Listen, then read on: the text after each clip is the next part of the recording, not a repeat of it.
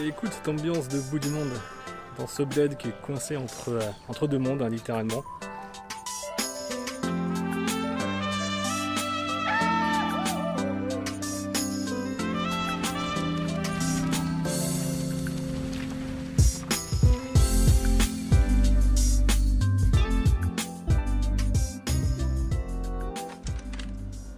Ok, bonjour à tous, nouvelle aventure. Nous sommes toujours en Amérique du Sud et aujourd'hui nous sommes au Brésil, à la frontière entre la France et le Brésil sur l'Oyapock. Nous sommes d'ailleurs dans la ville d'Oiapoque, sur le fleuve du même nom hein, qui fait la frontière entre la Guyane française et le Brésil. Donc je reste ici un week-end dans cette petite ville de frontière. Alors c'est une ville un peu particulière parce que comme toutes les villes de frontière, il y a une ambiance vraiment propre à elle. Mais on va dé- découvrir ça. Alors Oiapoque est donc dans l'état de l'Amapá. C'est un état vraiment très très isolé hein, au nord-ouest du Brésil. On est au cœur de l'Amazonie, c'est vraiment loin de tout, donc c'est un petit peu déshérité hein, par l'état fédéral. C'est un petit peu laissé de côté, donc ici à son propre monde. Donc on va découvrir ça. Oiapoque, c'est parti.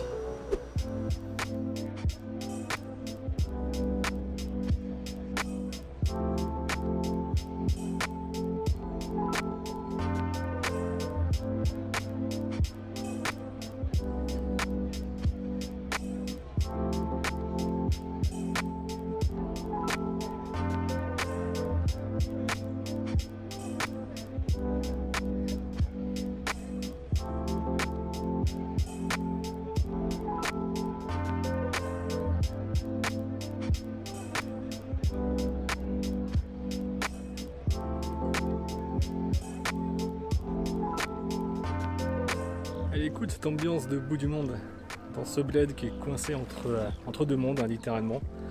Le fleuve ici, de l'autre côté, euh, la forêt, la forêt primaire, la forêt équatoriale. C'est vraiment une ambiance sympa.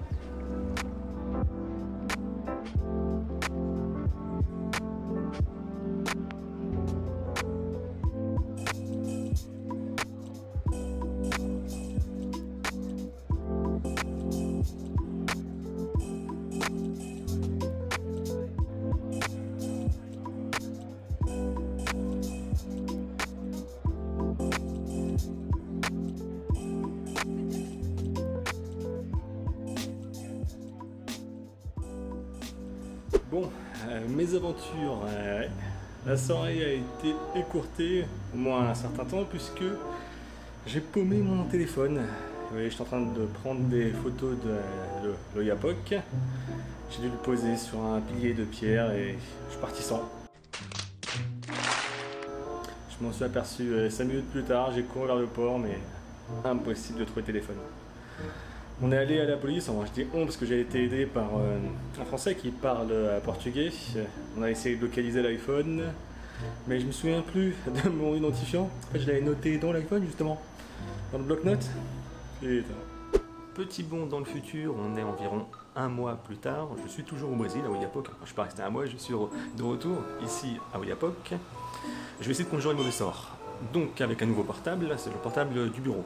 Alors j'ai acheté une carte SIM locale, ça coûte pas cher, hein, ça coûte euh, 15 réals et avec ça on a 8 Go de données. Donc ça devrait être largement suffisant euh, pour euh, ce week-end, parce que je reste que 3 jours en fait. Je vais en profiter également pour faire des plans au drone, puisque j'avais besoin de mon portable et bah, je l'avais paumé. Euh, mais avant ça, je vais quand même regarder quelle est la législation ici au Brésil pour pas avoir euh, d'ennui. Bon bah, je crois que c'est tout. Je redonne la parole au Karim du passé.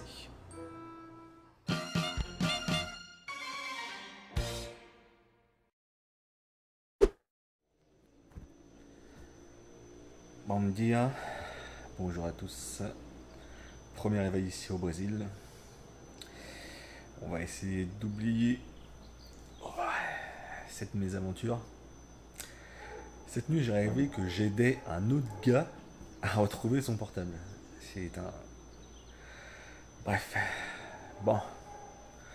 On va se lever, on va prendre la douche. Et on va essayer de continuer à voir ce qu'il y a à voir. Allez, route.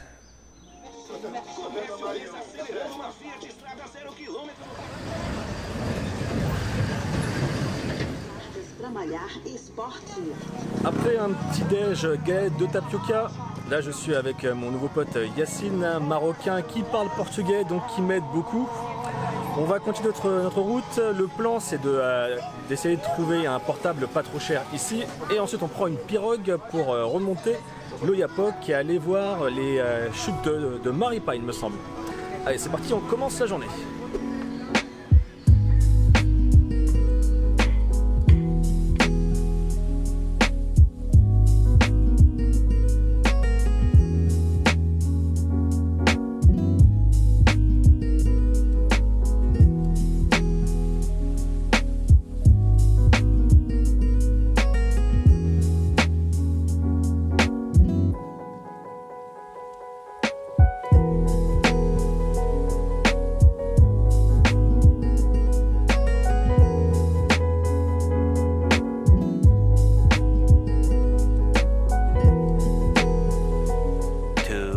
2000 years later.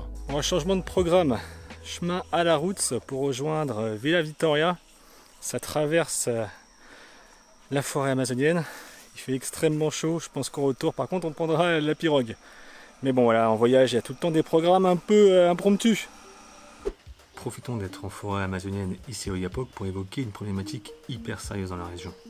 Le fait qu'Oyapok, ça soit situé à la frontière entre la Guyane et le Brésil, perdu dans le, le nord du Brésil, loin de l'État fédéral, le long d'un cours d'eau et au sein de la forêt amazonienne, bah, tout ça, ça fait que euh, cette zone, c'est un axe de passage extrêmement important pour les garimperos, les orpailleurs clandestins.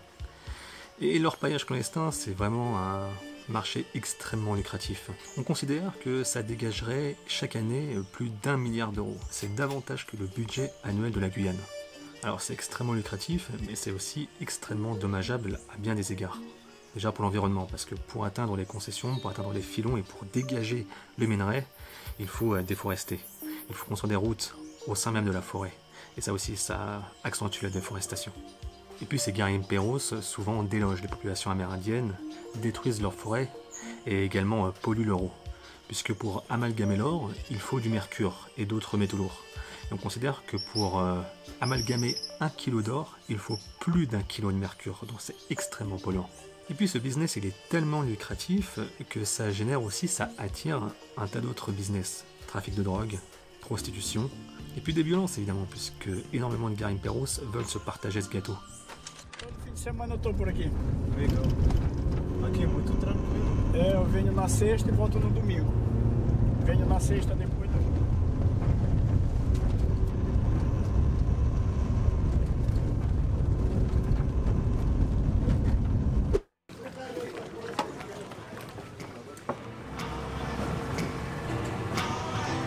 Bon, on a finalement atteint l'Oyapok, donc c'est parti, on traverse l'Oyapok pour aller à l'île du Soleil qui est juste en face.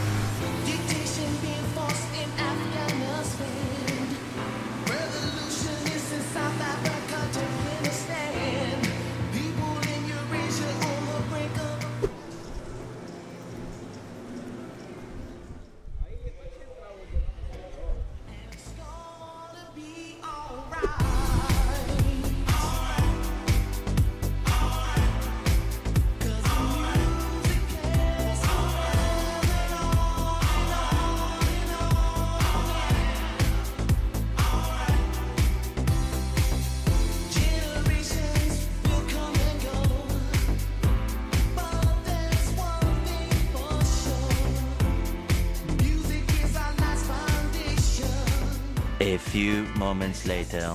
Bon, ça s'enchaîne.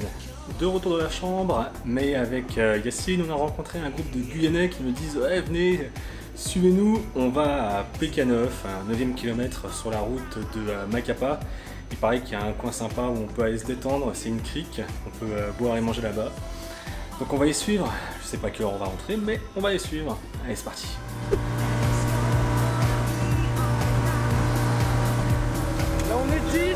On a privatisé la pirogue. Je sais pas trop où on va, mais on y va.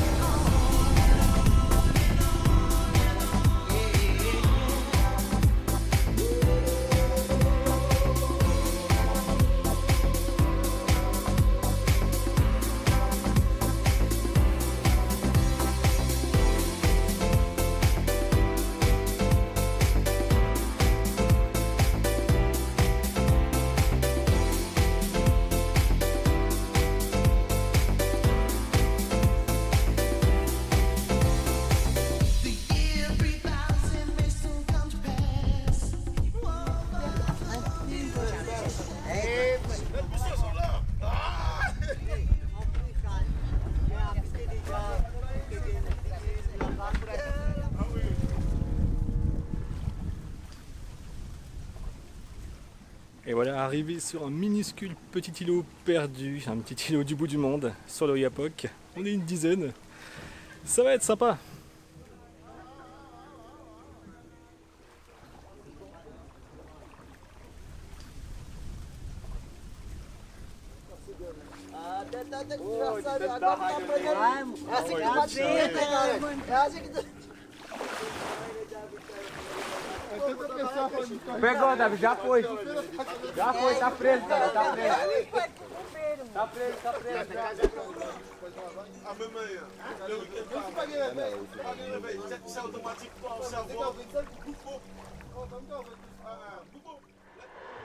Et me voilà de retour dans la chambre.